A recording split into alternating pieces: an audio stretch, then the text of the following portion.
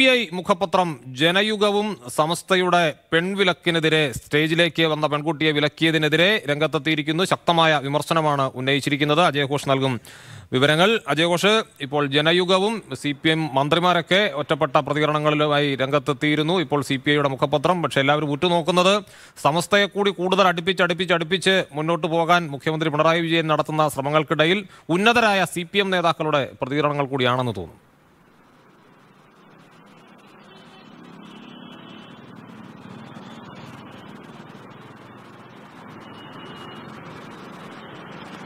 ശരിയാണ് അബ്ജദ് ഇന്നലെ സംസ്ഥാന ഗവർണർ തന്നെ അത്തരം ഒരു വിമർശനം കാര്യമായിട്ട് ഉന്നയിച്ചിട്ടുണ്ടായിരുന്നു. ഇങ്ങനെ ഒരു വിലക്ക് ഒരു പ്രാകൃതമായ സംഭവം ഉണ്ടായിട്ട് കേരളത്തിലെ രാഷ്ട്രീയ പാർട്ടികളുടെ മൗനം അത് തന്നെ പേടിപ്പെടുത്തുന്നുവെന്ന് ഗവർണർ ഇന്നലെ വ്യക്തമാക്കിയിരുന്നു. ഇതിനിടയിലും ഒറ്റപ്പെട്ട ശബ്ദങ്ങൾ മന്ത്രി വനിതാ മന്ത്രിമാരുടെ ഭാഗത്തു നിന്നും വനിതാ കമ്മീഷന്റെ ഭാഗത്തു നിന്നുമൊക്കെ ഉണ്ടായിരുന്നു. അത് നമ്മൾ കാണാതിരിക്കുന്നില്ല.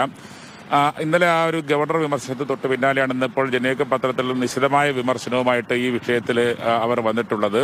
പ്രാകൃതമായ നടപടി എന്ന് തന്നെയാണ് അതിനെയും വിശേഷിപ്പിക്കുന്നത്. മാത്രമല്ല പുരോഗമനപരമായ മുന്നേറ്റത്തിന് തടസ്സം നിൽക്കുന്ന ഇത്തരം കാര്യങ്ങളെ വളരെ വേഗം മാറ്റേണ്ടതുണ്ട് എന്നുള്ള അഭിപ്രായവും അവർ പങ്കുവെക്കുന്നുണ്ട്. പതുക്കെയാണെങ്കിലും ഈ സമസ്തയുടെ സമസ്ത പുരോഹിതന്റെ ആ ബാലിശമായ വിമർശനത്തിനെതിരെയുള്ള അതിശക്തമായ വിമർശനം പല ഭാഗത്തു നിന്നും വരുന്നുണ്ട് എന്നുള്ളത് ഒരു പ്രതീക്ഷ നൽകുന്ന ഒരു കാര്യം തന്നെയാണ്. അപ്പോഴും സി പി എം മുഖ്യമന്ത്രി ഇന്നലെ ഒരുപക്ഷെ പക്ഷേ തൃക്കാക്കരയിൽ കൺവെൻഷനിലൊക്കെ പങ്കെടുക്കുമ്പോഴൊക്കെ മുഖ്യമന്ത്രി ഇത്തരം കാര്യങ്ങളെക്കുറിച്ച് എന്തെങ്കിലും പറയുമെന്നൊക്കെ ആരെങ്കിലും പ്രതീക്ഷിച്ചിട്ടുണ്ടായിരുന്നു. പക്ഷേ ഒരു തരത്തിലെ പരാമർശവും അത്തരത്തിലുണ്ടായില്ല. പ്രത്യേകിച്ച് രാഷ്ട്രീയമാണ്.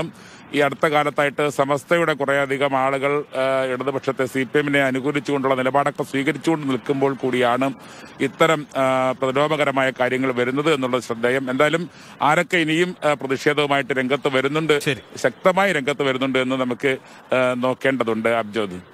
ശരി അജയ് ഘോഷാണ് വിവരങ്ങൾ നൽകിയത്. ഡൽഹിയിൽ ജവഹർലാൽ നെഹ്റു സർവകലാശാല ക്യാമ്പസിൽ ഗർഭനിരോധന ഉറകൾ തേടിപ്പോയ രാഷ്ട്രീയ കക്ഷിയുണ്ട്. രാഷ്ട്രീയ കക്ഷികളുടെ പ്രതിനിധികളുണ്ട്.